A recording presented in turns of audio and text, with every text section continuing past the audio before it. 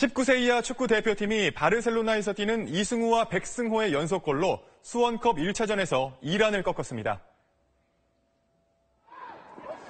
우리나라는 전반 20분 이유현의 중거리포로 기선을 잡은 뒤 후반에 투입된 이승우의 빠른 돌파로 승부를 갈랐습니다.